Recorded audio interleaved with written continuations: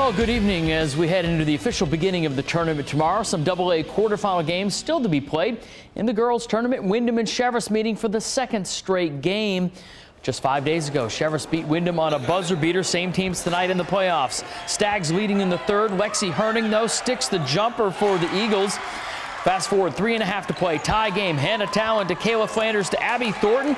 Windham takes a 40-38 lead, but Cheverus comes right back down, drills the three, Stags go up 41 to 40. After two Cheverus free throws, they stretch the lead to three, but the play of the game, Sarah Talon basket and one. She makes the free throw. We're tied. Minute to go. Carly Morey would hit two free throws to give the Eagles the lead, and they hang on, make their free throws.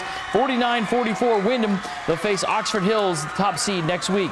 Double A South, Gorham hosting Noble in the 4-5 matchup. Leah Woodbury, the three for Gorham. She had 10. Rams up 10 late in the third, but Noble chips away. Hannah Drew inside to Regan Kelly for the hoop and the foul. She had 12.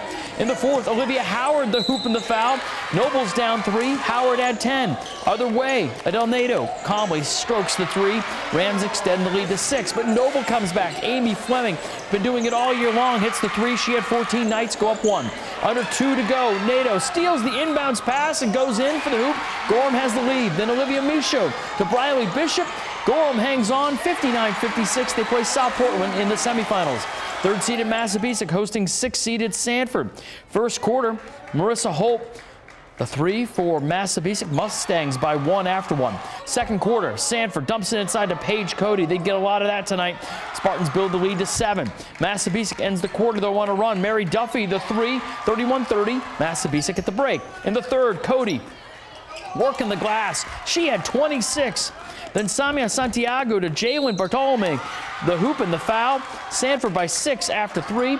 Mustangs try and rally. Grace Frechette the three, but Bartolome answers the other way. She had nine. 52-45 Sanford to face Scarborough in the semis. Double A South Boys, second seed of Thornton, hosting Noble. The Sports Center crew on hand once again. Will they make it to the Expo? Here we go. Jack Piezinski or that's Dylan Griffin. He had 14. Then Jack Piezinski, getting ahead of myself, he had 13. Later on, Peyton Jones, he's assisted on all of these, gets another one to Kobe Lands. He had 17. Then Jones another dish to Will Mitchell. 81-64 Thornton. They have Bonnie Eagle in the semis. All right, the state.